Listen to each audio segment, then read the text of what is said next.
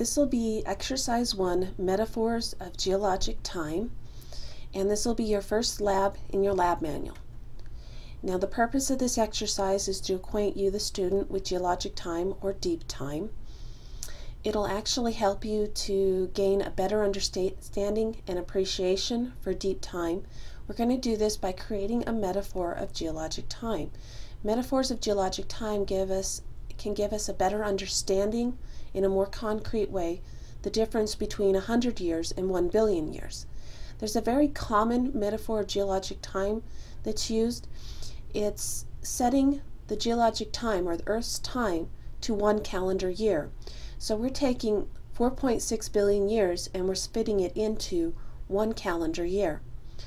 With this metaphor, at 12 a.m., January 1st, this would be equated with the origin of the solar system and the planet Earth 4.6 billion years ago.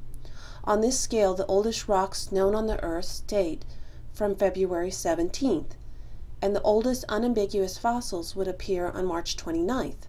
The invasion of land by plants and animals occurred in late November. Dinosaurs would have arose on December 14th and become extinct on December 26th. Hominids and the family of primates that include Homo sapiens appeared at around 4:30 p.m. on December 31st. Rome would have ruled the western world for 5 seconds from 11:59 and 45 seconds to 11:59 and 50 seconds. And Columbus discovered North America 3 seconds before midnight on the 31st of December. So this is an example of direct time for time conversion. You're going to do the same type of direct time for time conversion with your own life. So you're going to look at your age and you're going to set Earth's, excuse me, you're going to go ahead and set Earth's time into your age, just like this metaphor was done for a calendar year. All right, so in part one, you may want to follow along in your lab manual, so you might want to open that up, take a look. But in part one, what we're going to do to start this calculation, we need to take your age and convert it into seconds. I'm going to be doing the calculation for a 30-year-old. If you're 30 years old, you're going to be 29 years of age for this exercise. All right, so getting it into seconds.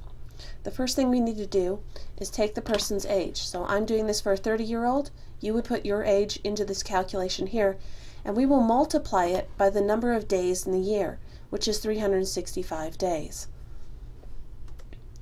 Next, we'll take those days, which came out to 10,950 days, and we will multiply them by 24 because we know that there are 24 hours in one day. This will get us get our number down to 262,800 hours. Next, let's convert those hours into minutes.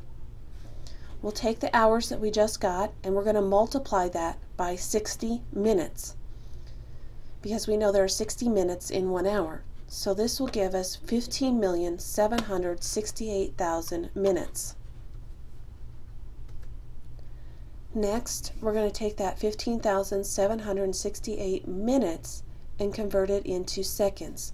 We know that there are 60 seconds in one minute, so we'll multiply by 60. This will give us 9,400, excuse me, 946,080,000 seconds.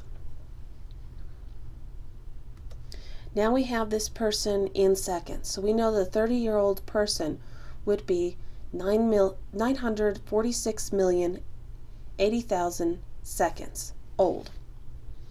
Right? Your number is going to be different because you're going to be calculating for your age. And if you're 30, reminder, you're going to be 29 for this exercise. Okay, so now what we need to do is determine how much time one second of this person's life would be equal to in Earth's history. So we know that the Earth is 4.6 billion years old. So we're going to take that number and we're going to divide it by this person in second. This is going to give us a unit ratio. It's going to tell us how many years per one second of this person's life okay, would be equal to. So I'm going to take 4 billion 600 million years and I'm going to divide it by the number of seconds I calculated earlier. This gives me 4.862168104. I'm going to round that off to the hundredths place, which is two decimal places. So I'm going to get 4.86 years per second. Right? So once you've done part one, you're going to only need to do this calculation one time. In part two, you'll need to repeat it for all nine boundaries. But part one only needs to be done once. All right, so part two, we're going to go keep moving forward. We need to get everything converted into our life. All right, just like the calendar year for Earth, we're going to do the same for our life to Earth so that we can put it on the geologic time scale. So, first thing we're going to do is calculate how old this person would be at each of the major boundaries and the boundaries of the periods of the Cenozoic. This means that you're going to be repeating part 2 nine times for each boundary, once for each boundary. I'm going to do the calculation for just the Precambrian to Cambrian boundary. At the Precambrian to Cambrian boundary, you can either look at the notes in your lab manual, this gives you the date, that boundary occurred 542 million years ago. You can also look at your geologic time scale to find this number. I'm going to divide this by the calculation from part 1, which was the 4.86. This is for the 30-year-old. Remember, you're going to have a different number in here in your calculation. So this gives me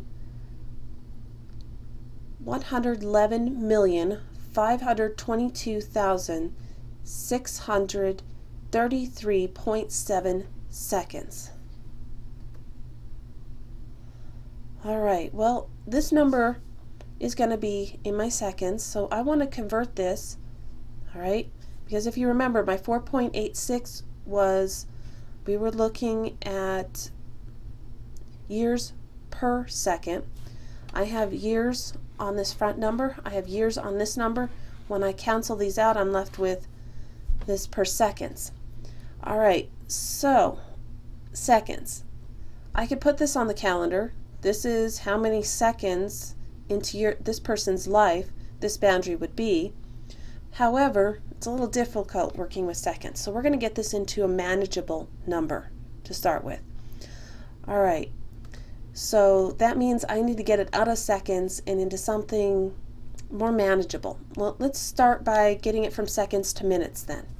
Well, we know from the previous calculation that there's going to be 60 seconds in one minute.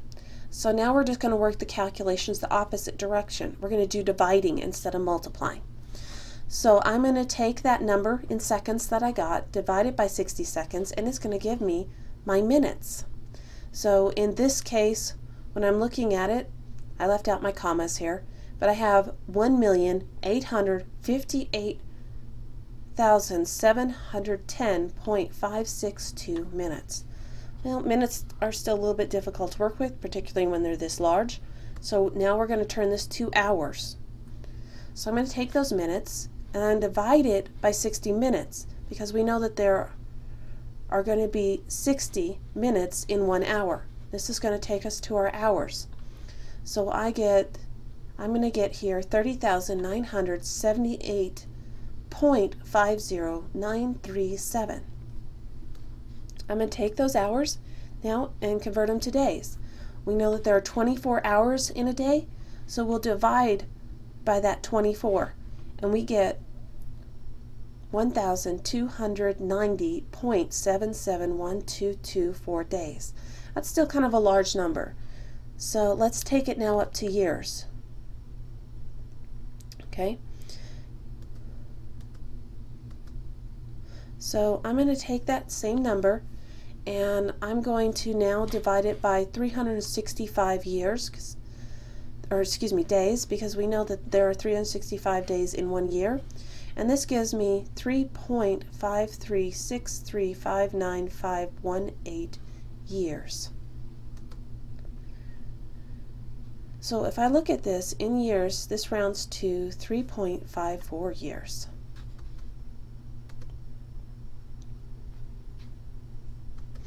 Well, now I need to see what do I do with this number. What this is, is it's telling me that that boundary occurred 3.54 years in this person's past. So to figure out exactly how old they were at that time, I need to take their age and subtract 3.54 from it.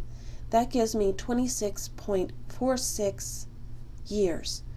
So at the boundary between the Precambrian and the Cambrian, I know that this person was 26.46 years in age. You'll also want to keep track of this because we'll need it later, this number. All right, so next, let's take the decimal years and convert those to days. So I'm going to take that number and I'm just going to take the decimal, just the 0.46 off the back and turn that into days. We know that there are 365 days in a year, so that's 167.9 days. So now I want to take the decimal and the days and convert that to hours. I'm going to disregard, just ignore the 167 just for the moment and just take the 0.9.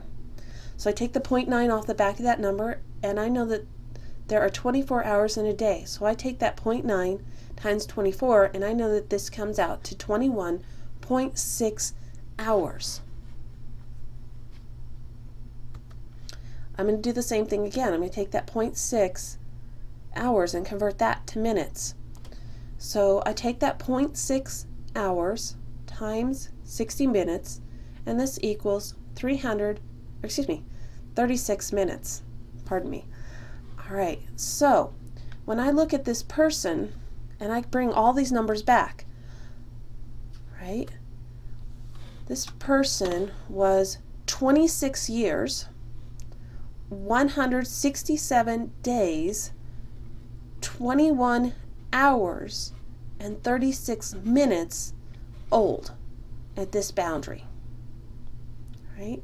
So at the Precambrian Cambrian boundary, a 30 year old would be approximately 26 years, 160 days, 21 hours, and 36 minutes old. Go ahead and transfer this to your geologic time scale at the back of this lab. All right, so in part two, part two you're going to repeat for all the boundaries for your age. So you will repeat these steps for your age once you have an age for all nine boundaries, you will place these ages on figure 1.2. This is the geologic timescale at the back. You will also be submitting your work for parts 1 through 3 showing all your work for the Precambrian Cambrian boundary. Right? I'm only going to require you to submit your full work for the Precambrian Cambrian boundary. You can look back at your instructions for formats and ways to submit this. For the other boundaries, I'll only be looking for the last value, the final value, the person's age for part two. Okay? All right, now part three. This one you're going to only have to do once. It's only asking you to calculate the percentage of your life that would be spent in the Precambrian time. We know that the Precambrian takes up 88% of Earth's geologic time, and that the Earth is 4.6 billion years old. So knowing that, let's first look at this number.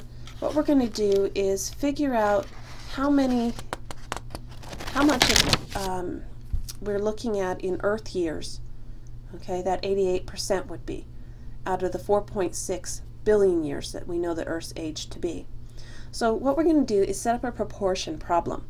We're looking at the 88% and we put it over 100. Now, in Earth's history,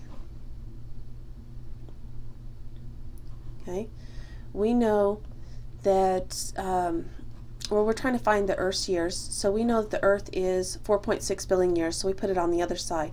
Now what we're going to do to solve for those Earth years is just do a cross multiplication. What that means is we're going to take the Earth years up here times the 100. Then we're going to cross multiply the other side 88 times 4.6 billion years. So that gives me this problem. 100 times Earth years equals 88 on the other side, 88 times the 4.6 billion. So let's work that one.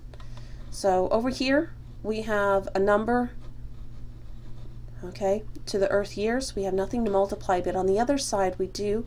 We'll take that 88 times the 4.6 billion, and we get 404 billion 800 million. Now we need to just get the Earth's years by itself. To do this, we need to divide out this 100. So whatever we do to one side of an equal sign, we always do to the other side. So we're going to divide by that 100. So we're going to take that 100, bring it over to the other side and divide it. When we divide it out on the side with the earth years, it cancels out. Anything divided by itself creates a 1. So it cancels down to a 1. All right, so we divide that in. This gives us 4 billion 48 million years.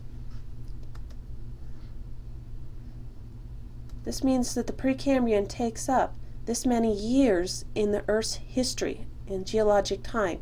It's a lot. A lot of the Precambrian is, or excuse me, the Precambrian takes up quite a bit of Earth's history or Earth's time. All right. So now what we want to do is figure out how much of your life would have been spent in the Precambrian. So we're going to look at the years in your life that are spent in the Precambrian. So I look here.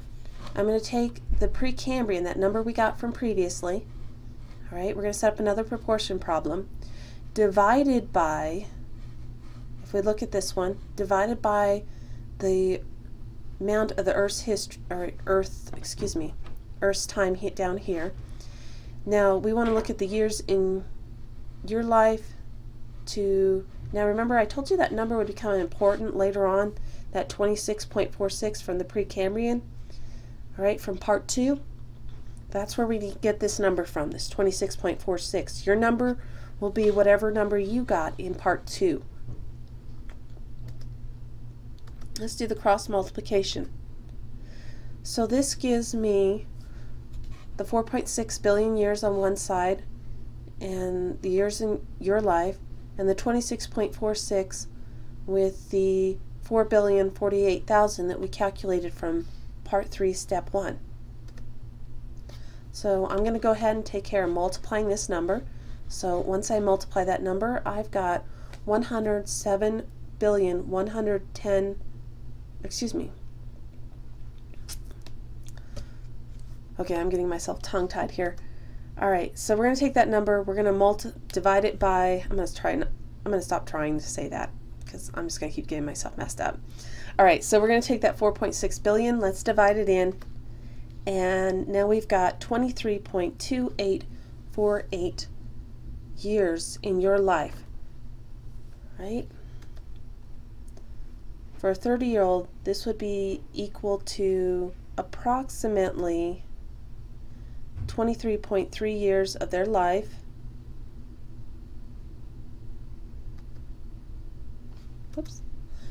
So now we know how many years of your life would equate to the Cambrian Precambrian boundary. Okay, so you're going to do this calculation for your age, so that means that you need to find the number that you found for your age back in part 2 All right, Um, and that pretty much concludes the instructions for this one. All right, remember, return to the instructions page for instructions on how to submit your complete work for parts 1, 2, and 3 for the Precambrian.